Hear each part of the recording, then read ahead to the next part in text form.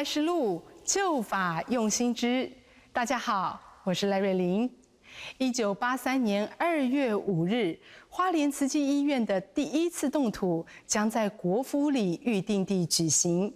当天虽然是细雨纷飞，不过慈济人的内心却是无限欢欣。每一次动土，都是慈济医疗为普及众生解脱苦痛的耕耘；每一次整地，都是慈济人许下众生得以平安健康的心愿。一九八三年二月，花莲慈济医院进行第一次动土，距离正言上人发愿在花东新建医院，已经过了三年又九个月。这段经历自行洽谈七块土地均无成果的日子，到了一九八零年十月，在当时省府主席林洋港和前总统蒋经国陆续来访后，建院土地才有着落。花莲国府里这片河川地。一九八一年五月确定可承租作为建院预定地后，长达一年的现有地上物赔偿如火如荼的协商着。一九八二年六月，终于取得原有十九户使用人的同意，接下来便是地质探勘、测量等工作。建筑委员会也于七月成立，花莲慈院的建设终于从纸上规划进入实地作业。一九八三年二月的破土大典，也因此成为全省慈济人最大的想望。今天非常高兴，我们邀请到静思金社的德轩师傅来和我们分享慈济医院第一次动土典礼前后一些温馨的故事和画面。感恩师傅，你好。好，主持人好，还有电视机前啊各位菩萨，大家好。师傅，我们来看这第一张非常珍贵的照片啊！照片上有上人，还有慈师傅、德慈师傅，还有许多的慈济委员。那在前方还有真华法师啊！这是一个什么样的场合呢？好像是第一次动土典礼前的法会是吗？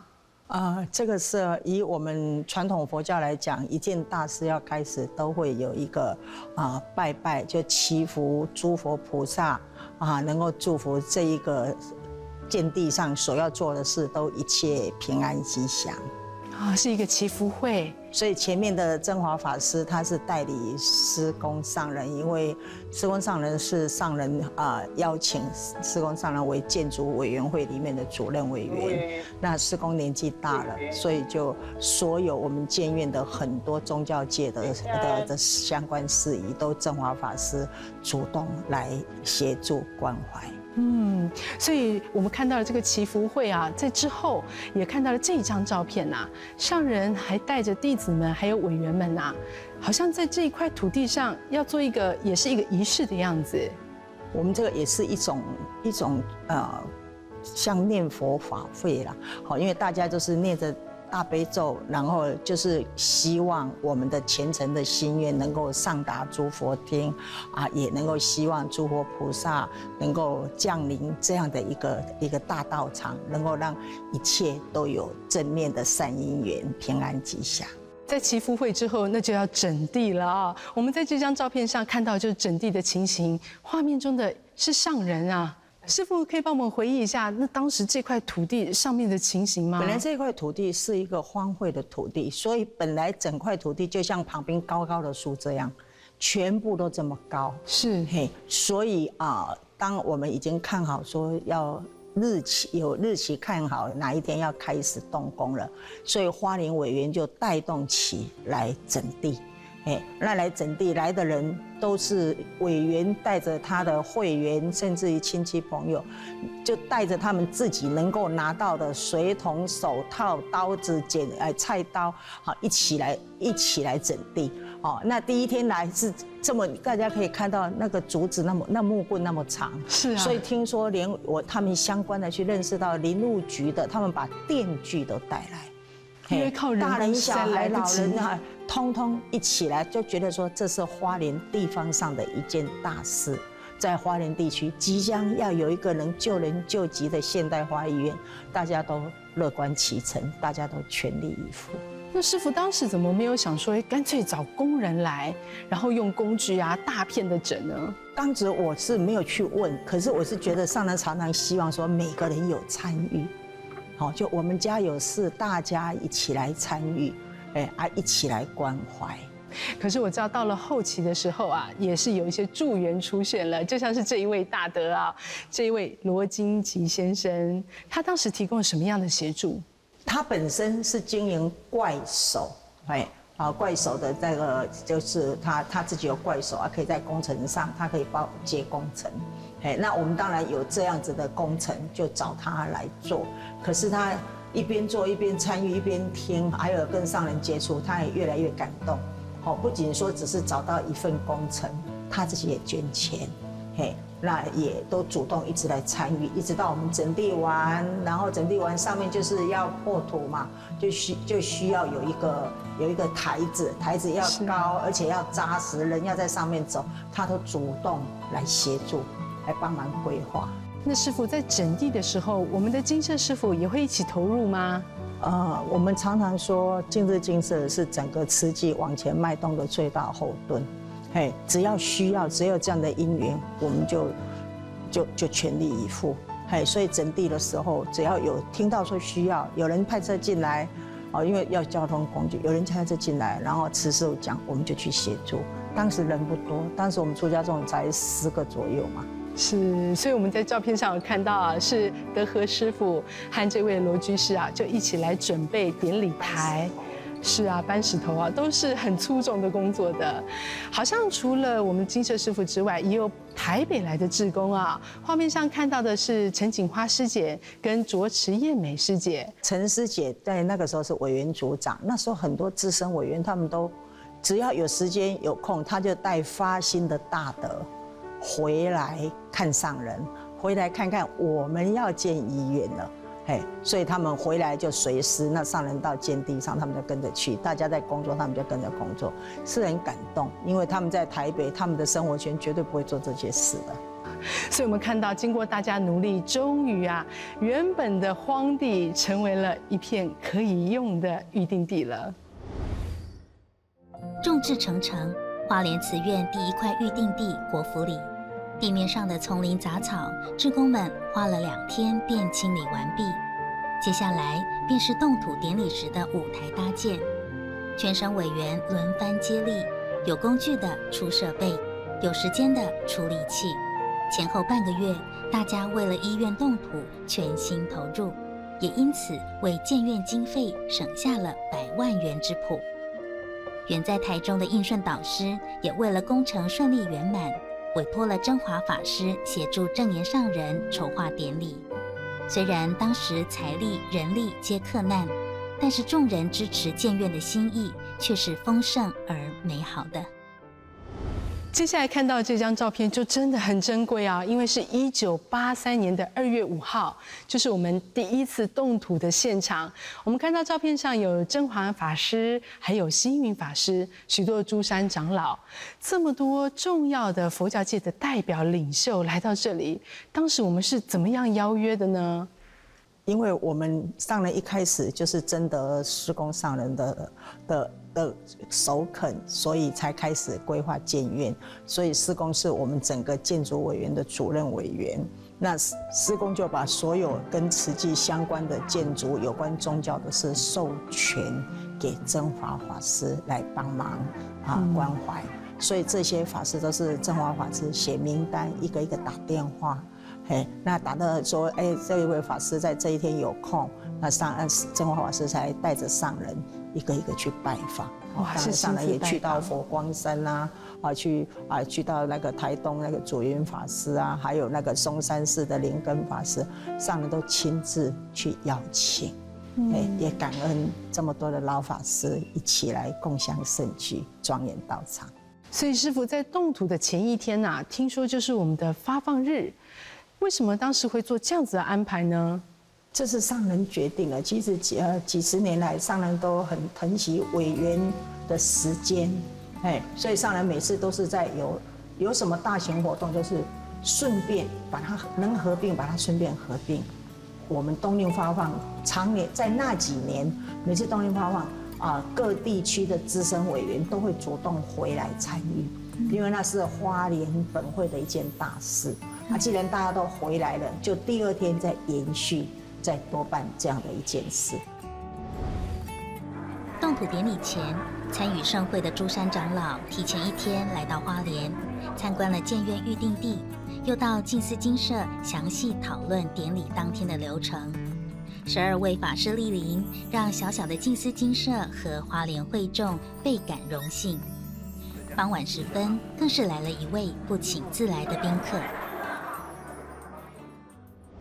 其实李先生啊，当时已经是台湾的省主席了。不过听说他是特别前一天就来，而且还参领了我们的发放。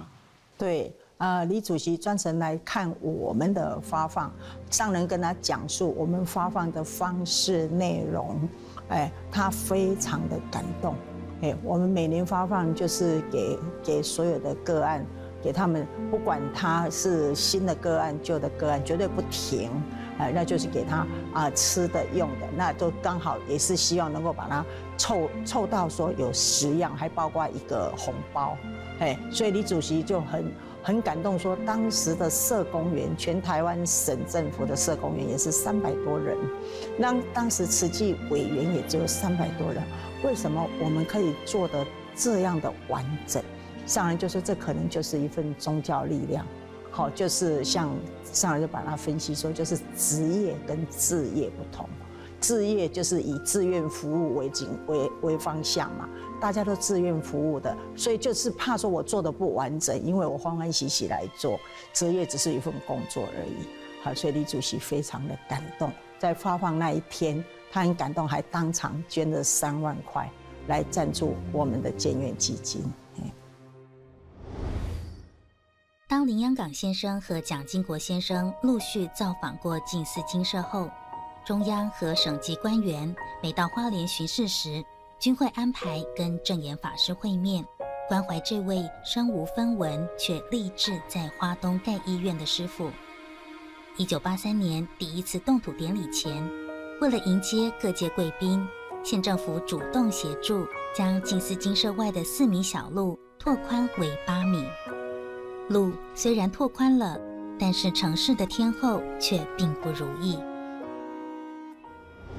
可是我知道当天呢，其实也令大家比较担心的就是阴雨绵绵的气候啊，这雨不停的下，这个地板就会很泥泞。那师傅要怎么办才好？因为我们的地啊才刚整过。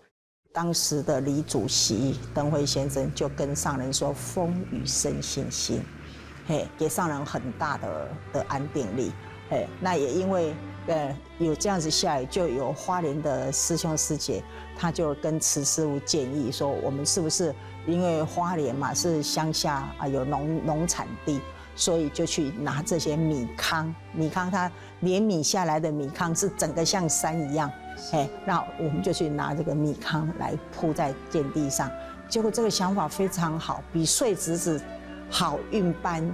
嘿啊！而且他们一弄下去，很多人就想到《密托经》里面写的黄金铺地，哦，啊，呃，这整个地就变得很好走。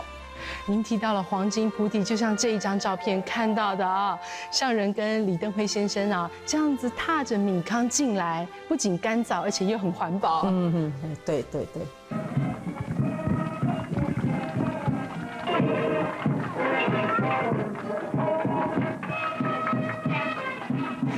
说在那一场的这个动土典礼上啊，李先生也给我们很大的祝福。后来上人再去见李先生的时候，他说：“我特地缠了十下，哎，缠了十下就是祝福大家啊，这个工程能够十全十美。”好，所以我们在画面上啊，在存的录影带上面就看到李先生真的是一铲一铲的啊，以这这份虔诚欢喜的心缠了十下，为我们动土。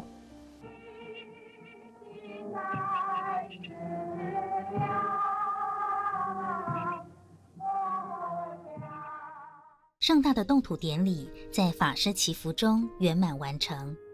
正当慈济人满心欢喜，期盼建院工程正式开启时，却收到了令人沮丧的消息。师傅谈到了那一天，那天的情形是怎么样的呢？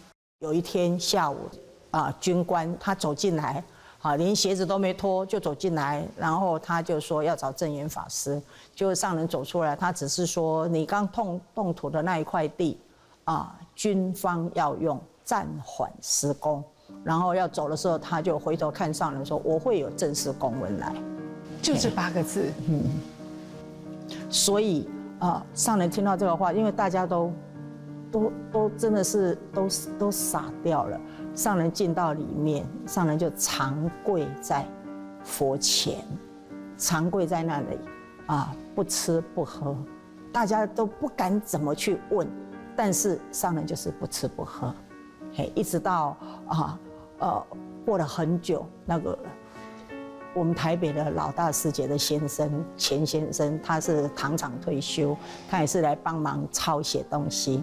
他看着他看不下去，上人都没有吃啊，这怎么可以呢？所以他就跪在上人的书房的纱窗纱窗外，他就一直叫上人起来。上人一看一个老先生跪在那里，上人就叫他说：“你起来。”他说：“师傅你不起来，我也不起来。”上人说：“你起来。”那他就说：“师傅你不起来，我也不起来。”然后后来上人说：“好，我就起来。”结果他说：“师傅你起来，你一定要吃一碗我煮的面。”嘿。然后，那结果那个上人就跟他说，上人说好，他就钱先生很会做烹饪的事，他就煮了一碗面。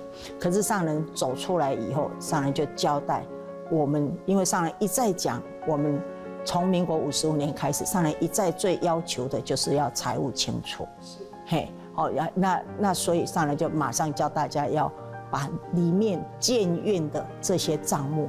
把委员签上人呼吁所有的委员说：“你自己手上的券目本，所有捐建院的钱，你们再再看一下，总共差不多多少钱？然后我们在本会财务的这几个小姐，包括当时的静琪师姐，他们都来帮忙，嘿，啊，就一起来帮忙把每一个委员的账，上人叫他们说，每个委员就给他一个明细表。”嗯，哪一年哪一月捐了多少钱？上人说，如果我们没有因缘可以建医院，我们把钱每一个委员都退还给他。所以当时上人出来之后是下了这个决定吗？那除了退款之外，有没有其他的方法可做？当然，上人是这样子，这是最坏打算。好，可是，呃，以当时在上人旁边的自工，就是现在的林副总。碧玉师姐，她当然觉得说，我们再找找看，因为这是花莲的一件大事，不是就这样子，所以她还是到处去问，还有没有一丝希希望。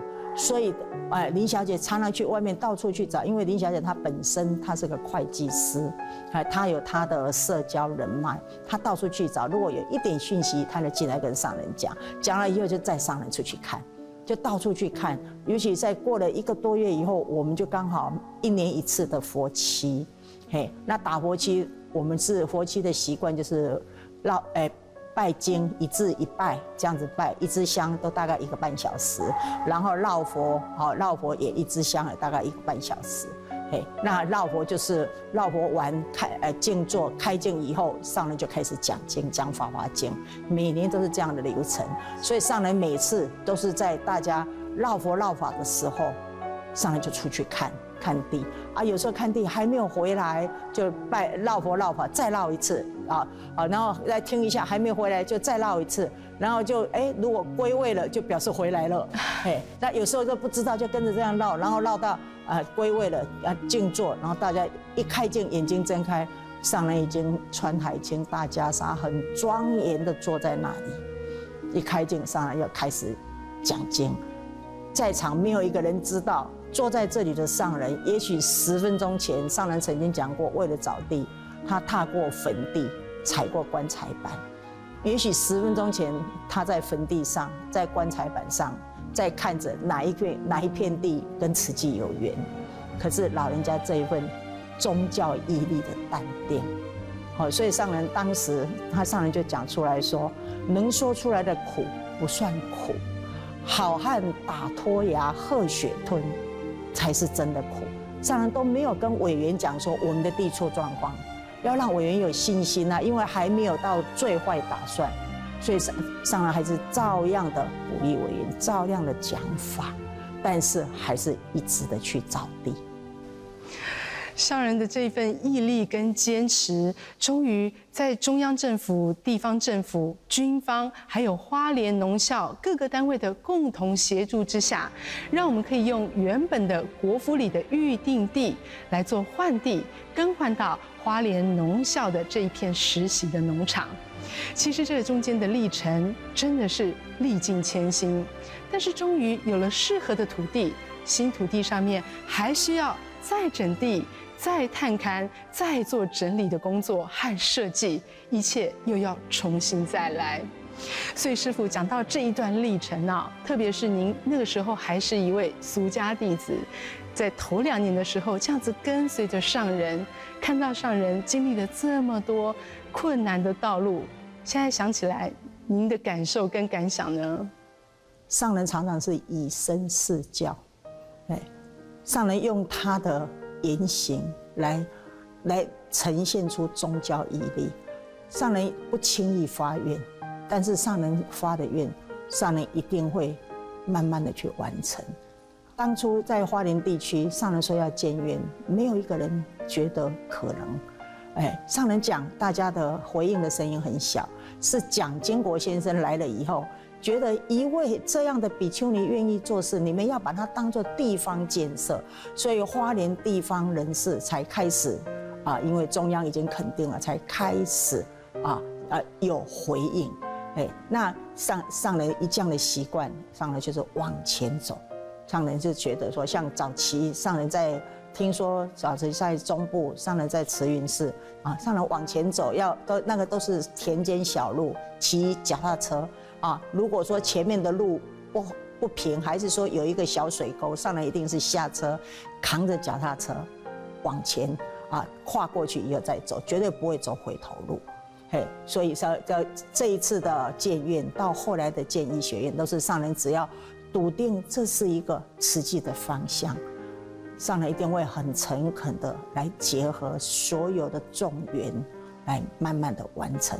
这个是我们在上人的身上看到的宗教毅力。正言上人常说：“人要克服难，不要被难克服。”我们听到慈济医院的建院过程，就能够感受到上人那份难行能行的心。他不断用他的行动来做他曾经说过的话。今天非常感谢。德轩师傅的分享，感恩您。啊，当然也很感恩全球所有的啊大德菩萨，大家都可以看到慈济置业体每一砖每一瓦，不仅有上人无名绵绵无尽的心血，也有你们常年护持的啊点滴的心力，都在发挥救人救气的功能。感恩大家，也祝福大家。感恩你今日收看《回眸来时路》，我们下周见。正言法师是我们佛教的一个比丘尼，就是女中。不过她虽是一个女中啊，可是有丈夫的气概，身体虽瘦弱啊，但是她的精神很这个广大。我想这个慈济综合医院未来一定很快就把它兴建完成了。